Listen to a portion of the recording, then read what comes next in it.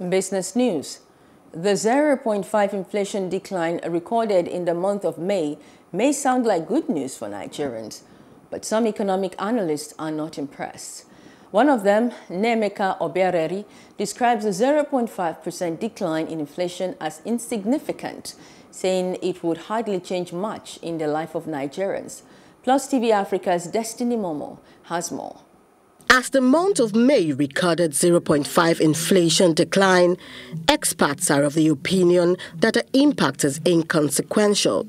They say the common man would hardly feel the effect in reality. 0.5% uh, decline from food commodity inflation rate of 22.9% is nothing to it's nothing at all. It's like it's like a, a cup of water in in uh, in, in a 60,000 liter drum. It, it is very insignificant.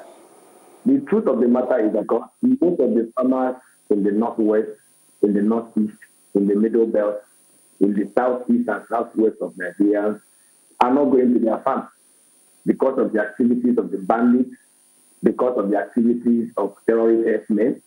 As far as I'm concerned, it will not have any significant uh, impact because it is it is it is quite insignificant to be significant in the sense that um, we are battling with so many things.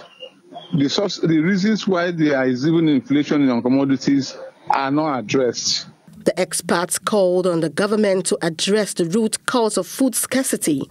They also expressed support for the ban on open grazing as a means to check food insecurity. Open grazing should not just only be banned through pronouncements. The governors of the South and the Middle Belt, especially Benue State, in the food basket, must go extra mile to enforce it. The enforcement is not with the police or with the army because most of them are already compromised. They listen to those in Abuja.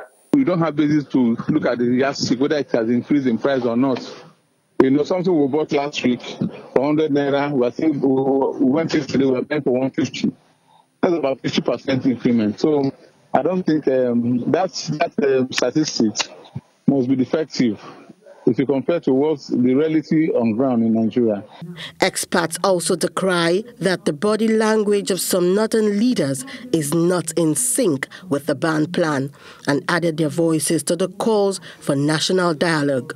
The governors that have big storage to ban open grazing must go extra hard within the next couple of days to enforce it totally. Engage in long-term dialogue. It's good time, it's high time Nigeria started talking to each other. The time for national dialogue is now. Nigeria has never been divided the way we are the, the banditry and um, insecurity. So the, the, the, movement of goods and services are impeded. The government should actually address the causes of, you know, uh, scarcity okay. and inadequacy.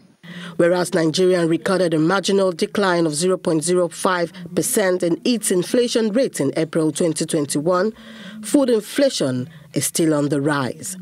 Destiny Momo for Plus TV Africa.